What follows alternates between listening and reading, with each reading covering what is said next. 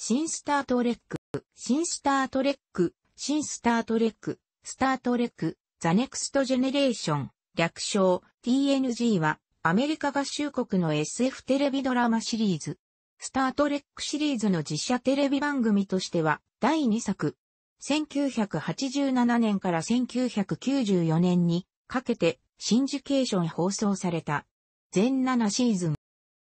第1作、宇宙大作戦が3シーズン限り、1966年から1969年で打ち切られながらも、再放送で人気を得たことにより、1970年代に続編番組としての企画も持ち上がる。しかし、そのアイデアが劇場映画版スタートレックに発展し、続編はテレビではなく劇場映画シリーズとして描かれるようになった。1979年から1986年にかけて4作の劇場版が公開された後、1987年にテレビ版第2作として新スタートレックの放送が開始。新スタートレックは宇宙大作戦の続編ではあるが、時代を約80年後に設定し、登場人物を総入れ替えした次世代の物語である。なお、新スタートレックの放送期間中にも宇宙大作戦キャストによる劇場版が2本公開され、特に第6作のスタートレック6未知の世界は新スタートレックのバックストーリーとして惑星連邦とクリンゴン帝国の歩み寄りを描き、新スタートレックの主要キャラクターの一人あるウォーフの祖父も登場した。当初、新スタートレックは視聴率が振るわずに打ち切りの話なども浮かんでいたが、シーズン中盤から人気が上昇した。しかし、新スタートレックはテレビ作品としては第7シーズン限り終了し、そのキャストは劇場映画版に移行した。宇宙大作戦と新スタートレックのキャストが共演する劇場版第7作が公開されたのが新スタートレック終了の約半年後である。新スタートレックの第6シーズン途中からは、スピンオフ番組が並行放送され、新スタートレックの終了後には、新シリーズののテレビ放送が始まり、先に始まっていたスタートレック Deep Space Nine と並行して放送された。なお、新スタートレックは宇宙大作戦の放送終了から18年のスパンを経て開始したが、以降、終了の2005年まで、スタートレックのテレビシリーズは19年の間継続的に放送されていた。ちなみに、主要キャスト中でも、ジョナサン・フレークスとレバー・バートンは、数本のエピソードで監督も兼任しており、その後のシリーズ作品でも監督を務めている。女性の社会進出が広がったことを受け、前作に比べて女性士官の活躍が大幅に増えているのも特徴の一つである。例えば、ビバリー・クラッシャーは医療部門の責任者であり、上級士官の不在時には環境で指揮を取ることもある。これ以外にも女性の艦長、提督もゲストとして頻繁に登場するようになり、後続番組のスタートレック、ボイジャーでは女性の艦長が役を務めるまでに発展する。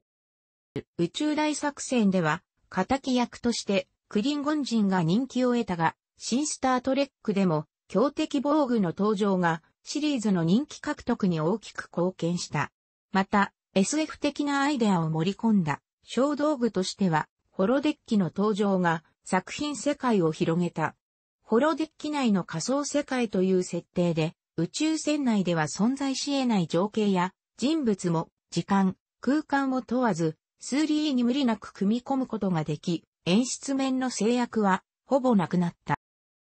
ジェームズ・ T・ カークが USS エンタープライズを率いて5年間にわたる歴史的な調査飛行を終えてから約80年後の24世紀、その感銘を受け継ぐ惑星連邦宇宙艦エンタープライズ USS エンタープライズ NCC-1701D は冷静沈着なピカード艦長式のもと、時に人類未踏の星域への探索に時に惑星連邦周辺諸国との交渉にと銀河を飛び回る。冗談と女好きなライカー副長、人間になることを望み、学ぶアンドロイドのデータ、惑星連邦とクリンゴン帝国との間で悩めるクリンゴン人、ウォーフなど個性的なキャラクターたちが活躍する。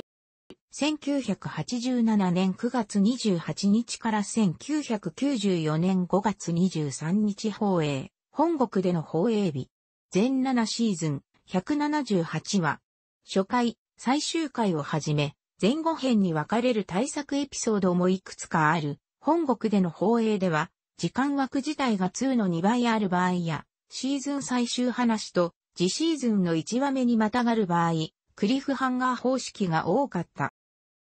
日本では、地上波での放映は、深夜枠での放送が大半でかつ枠の移動が多く、スーパー、ドラマ TV などで CS 放送が始まるまでは、確実に視聴できる環境はなかなか整わなかった。